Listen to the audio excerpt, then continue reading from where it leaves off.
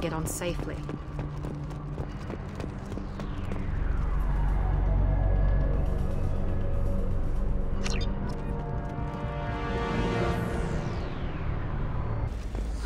I need a 100% safety guarantee of anything How can you short sell on prefabs after these human colony attacks? They're going to... No, you don't understand. I lost it somewhere near the transport.